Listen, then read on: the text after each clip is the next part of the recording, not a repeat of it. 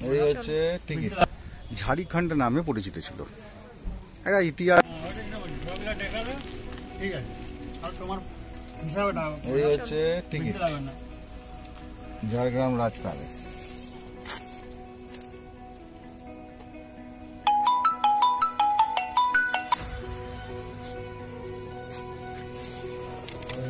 ভেতরে যাবেন না। আচ্ছা। উপরে যেখানে খুশি এখানে ভেতরে হয়ে যাব না। হ্যাঁ গেস্ট আছে তো? উপরে উঠবেন না নোয়ান্টির ভেতরে যাবেন।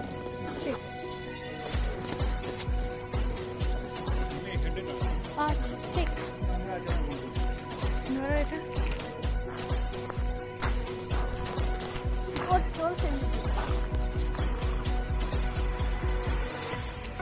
এই হচ্ছে ঝাড়গ্রাম রাজবাড়ি। এই যে ঝাড়গ্রাম রাজবাড়ির ইতিহাস।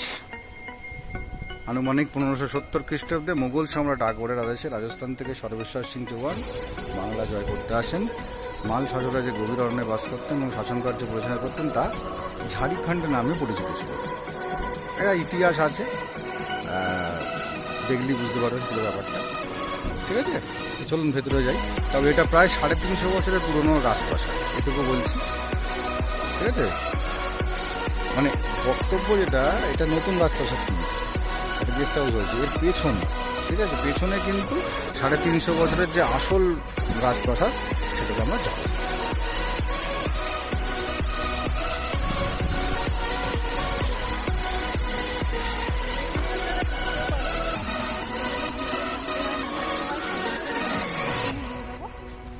বারবার বলছি, এইটা মানে আর কি একটা প্রতিরূপ স্বরূপ।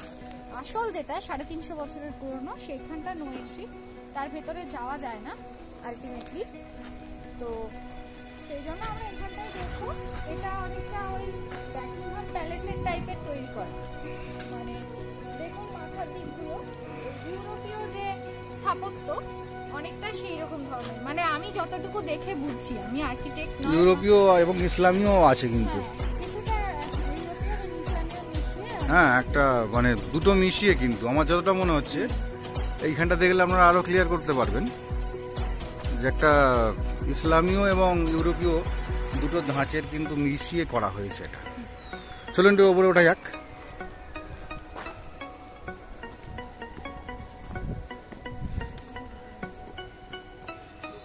দেখুন,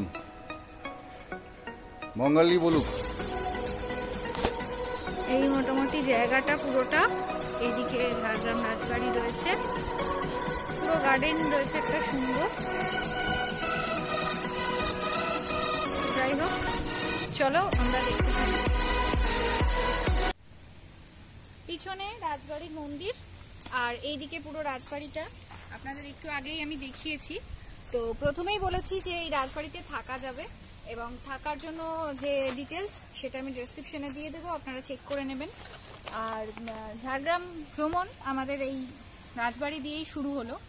আর আরও একটা যেটা কথা বলার সেটা হচ্ছে বুঝতেই পারছেন অনেক টুরিস্ট স্পট আছে এখানে।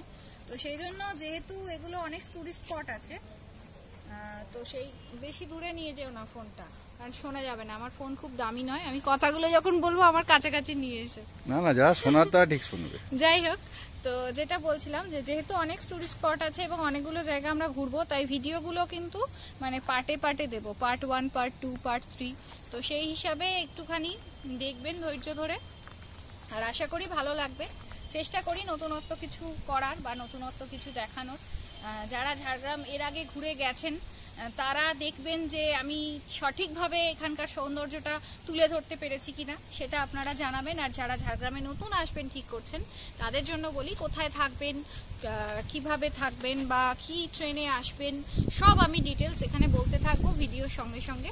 আপনারা সঙ্গে থাকুন।